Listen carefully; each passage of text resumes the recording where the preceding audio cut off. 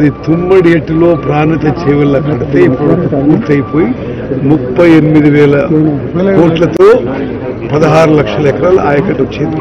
ఇప్పుడు వీళ్ళు తొంభై మూడు వేల కోట్లు ఖర్చు పెట్టి ఒక లక్ష ఒక లక్ష ఎకరాలు కూడా ఆయకట్టు రాలేదు.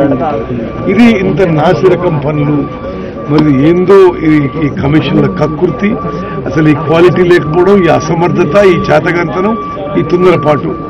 ఏ కారణాలైనా తప్పనిసరిగా జ్యుడిషియల్ ఎంక్వైరీ ఎక్స్పర్ట్స్ ఎంక్వైరీలు తేల్చాలని చెప్పి నేను.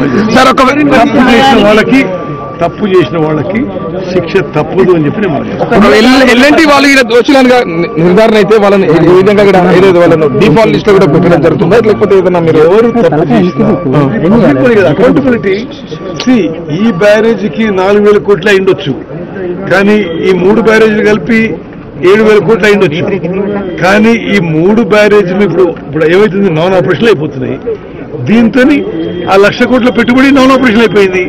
అంటే తెలంగాణ ప్రజలు సంవత్సరానికి పదివేల కోట్లు ఇంట్రెస్టే కట్టాలి.